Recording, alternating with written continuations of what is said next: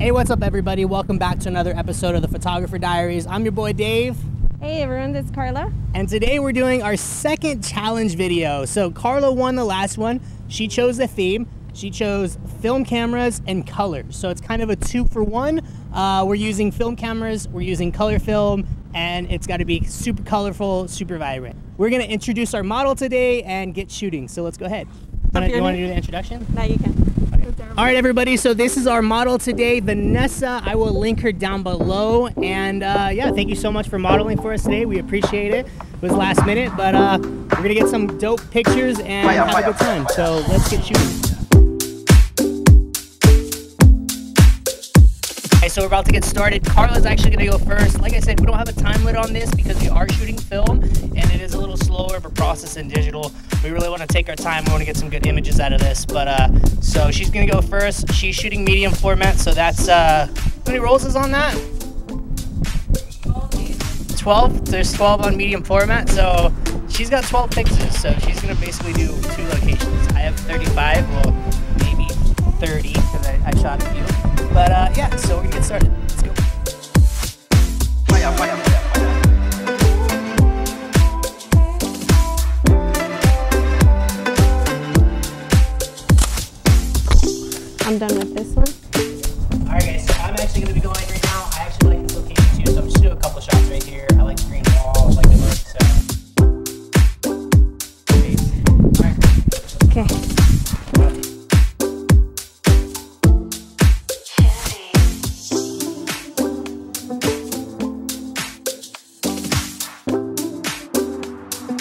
Okay, so this is actually my fifth location. I'm gonna shooting her backlit, and I'm gonna try to blow up that background actually too. I'll probably just bring back